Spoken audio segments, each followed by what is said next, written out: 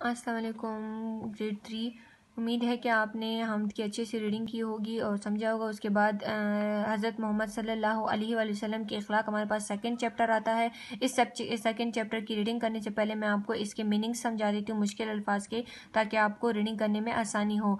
तवज्जो का मतलब है गौर करना, मुनाफा, फ़ायदा, शहरत, मशहूर होना फ़ेमस होना हिजरत का मतलब है दीन की खातिर एक जगह से दूसरी जगह चले जाना या एक शहर से दूसरी जगह चले जाना। तबलीग के खातिर, दीन के खातिर जब आप एक जगह से दूसरी जगह जाते हैं तो उसको कहते हैं हिजरत। अब हम चैप्टर की रीडिंग करते हैं।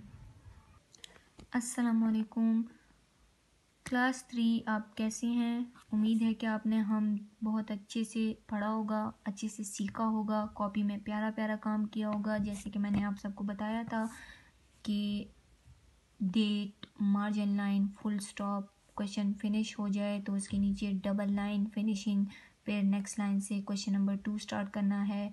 इमला में एक एक लाइन का गैप देना है। इसी तरह उम्मीद है कि आपने हम का चैप्टर किया होगा। अब हम करेंगे चैप्टर नंबर टू हज़रत मोहम्मद सल्लल्लाहु अलैहि वसल्लम के अखलाक इसमें हमारे पास ख़ास अल्फाज हैं, तवज्जो, मुनाफा शहरत, खुशखबरी, हिजरत, नमूना। अल्लाह ताला ने प्यारे नबी सल्लल्लाहु अलैहि वसल्लम को तमाम जहानों के लिए रहमत बनाकर भेजा। हमारे प्यारे नबी हज़रत मोहम्मद सल्लल्लाहु अलैहि वसल्लम अरब के एक मशहूर शहर मक्का में पैदा हुए। हज़रत मोहम्मद वसल्लम क्या है? तमाम जहानों के लिए। इस जहान के लिए भी और उस जहान के लिए भी। मरने के बाद जिन, जो ज़िंदगी होगी, जो क़यामत होगी, उस जहान में भी हज़रत मोहम्मद सल्लल्लाहु अलैहि हमारी रहनुमाई करेंगे और हमें अल्लाह ताला से हमारी सिफारश करेंगे। वो दोनों जहानों के लिए क्या है? रहमत बनाकर भेजे गए हैं। प्यारे नबी से हज़रत मोहम्मद सल्लल्लाहु अलैहि अरब के कौन से कबीले में पैदा हुए? एक एक मशहूर शहर। कौन से शहर में पैदा हुए? मक्का मुकरमा में पैदा हुए। उस ज़माने में अरब के लोग मुसलमान नहीं थे, वो बुतों की पूजा करते थे छोटी छोटी बातों पर आपस में लड़ाई झगड़ा करते और एक दूसरे को कत्ल करते।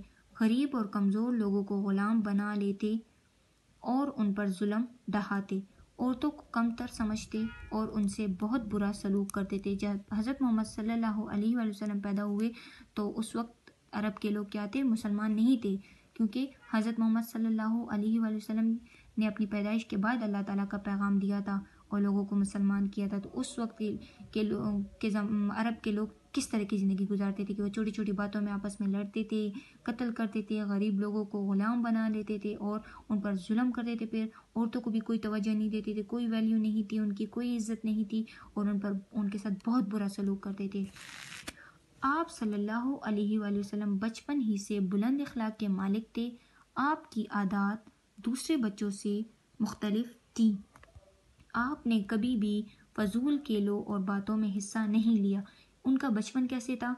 वो तमाम बच्चों से मुख्तलिफ़ ज़िंदगी गुजारते थे, क्योंकि वो एक, वो हमारे पैगंबर बनाकर भेजे गए थे तो इसीलिए वो बचपन से ही एक अलग किस्म की ज़िंदगी गुजारते थे कि उनकी आदत दूसरे बच्चों से मुख्तलिफ़ थी, वो शरारती नहीं थे, वो तंग नहीं करते थे, वो किसी किस्म का बुरा काम नहीं करते थे और तमाम फूल, फजूल बातों से दूर रहते ये कुछ इंफॉर्मेशन हैं। हज़रत मोहम्मद सल्लल्लाहु अलैहि वसल्लम का ना, का नाम आपके दादा हज़रत अब्दुल मुतलिब ने मोहम्मद रखा। उनकी, उनका मोहम्मद नाम किन, किसने रखा था? दादा अब्दुल मुतलिब ने। ये अरब में बिल्कुल एक नया नाम था। मोहम्मद के मायने है तारीफ़ किया गया किया गया। उससे पहले अरब में किसी का मोहम्मद नाम नहीं था। सादिक के मायने है सच बोलने वाला और अमीन के मायने है अमानतदार। अब हमारे पास है पैराग्राफ नंबर थर्ड। आप सल्लल्लाहु अलैहि वसल्लम जब जवान हुए तो तिजारत करने लगे। तिजारत में भी आप सल्लल्लाहु अलैहि वसल्लम की दयानतदारी बहुत मशहूर हुई। तजारत में आप सल्लल्लाहु अलैहि वसल्लम ने ज़्यादा मुनाफा हासिल करने के लिए कभी झूठ नहीं बोला। इस तरह आपकी सच्चाई और अमानतदारी की शहरत दूर दूर तक फैल गई। इन्हीं खूबियों की वजह से काफिर भी आप सल्लल्लाहु अलैहि वसल्लम को सादिक और अमीन कहकर पुकारते थे।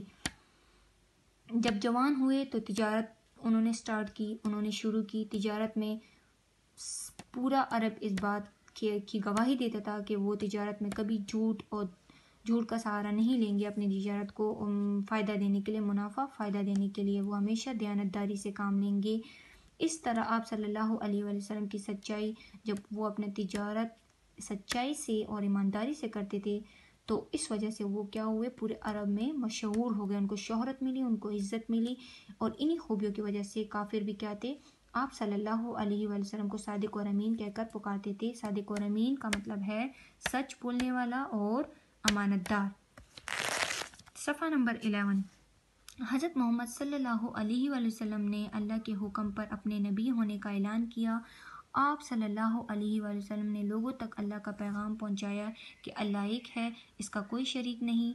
इस पर मक्का के काफिर आप सल्लल्लाहु अलैहि वसल्लम के दुश्मन हो गए और आपको तंग करने लगी। लेकिन आप सल्लल्लाहु अलैहि वसल्लम ने हमेशा सब्र से काम हमेशा सब्र से काम लेते। आप सल्लल्लाहु अलैहि वसल्लम दुश्मनों के लिए भी कभी बदुआ ना की। आप सल्लल्लाहु अलैहि वसल्लम ने कभी किसी से बदला ना लिया। यहाँ तक कि अपने बदतरीन दुश्मनों को भी माफ़ किया। ये उनकी खूबियाँ हैं। अल्लाह के हुक्म पर नबी अकरम सल्लल्लाहु अलैहि वसल्लम ने मक्का से मदीना हिजरत की। मक्का से मदीना आ गए। मक, मक्का शहर से मदीना शहर आ गए। किसके हुक्म से? अल्लाह ताला के हुक्म से। और क्यों आए थे? मदीना के लोग आपके आला इखलाक से बेहद मुतासर हुए। आपकी ज़िंदगी इनके लिए एक नमूना साबित हुई मिसाल साबित हुई। वो रफ्ता रफ्ता मुसलमान होने लगे और कुछ ही अरसे में इस्लाम फैलना शुरू हुआ और फैलता ही चला गया। पहले उन्होंने मक्का में लोगों को अल्लाह ताला का पैगाम दिया, क्योंकि अल्लाह ताला ने उनको पैगंबर बनाकर भेजा गया, भेजा था। तो इसी तरह जब मक्का के बाद उन्होंने मदीना हिजरत की, हिजरत का मतलब है एक शहर से दूसरे शहर जाना। तब वहाँ पर भी क्या था कि मदीना के लोग अब, वहाँ वहाँ के लोगों में भी आप मशहूर हो गए और आपके आल अखलाक के चर्चे होने लगे। आपकी ज़िंदगी इंसान तमाम उन सब के लिए एक मिसाल थी। वो रफ्ता रफ्ता मुसलमान वो आहिस्ता आहिस्ता मुसलमान होने लगे और दीन फैलता गया। नबी अकरम सल्लल्लाहु अलैहि वसल्लम, आप सल्लल्लाहु अलैहि वसल्लम के साथियों की ज़िंदगी तमाम लोगों के लिए अंधेरे में रोशनी की किरण साबित हुई। वहाँ के लोगों के लिए हज़रत मोहम्मद सल्लल्लाहु अलैहि वसल्लम के साथियों, यानी सहाबियों और हज़रत मोहम्मद सल्लल्लाहु अलैहि वसल्लम की ज़िंदगी क्या हुई? अंधेरे में रोशनी की मतलब उनको एक एक आस आने लगी कि हाँ ये एक सच्चाई का रास्ता है, किरण रोशनी। यूँ इस्लाम की रोशनी ने कुफर के अंधेरों को मिटा दिया।